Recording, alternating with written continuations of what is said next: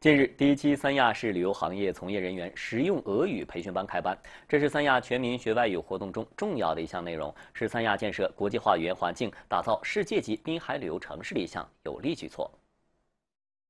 本次旅游行业从业人员实用俄语培训共分九期，九期培训统一报名。在三亚市旅游委的组织发动下，各涉旅企业积极报名，一千三百五十位名额在报名截止前已排满。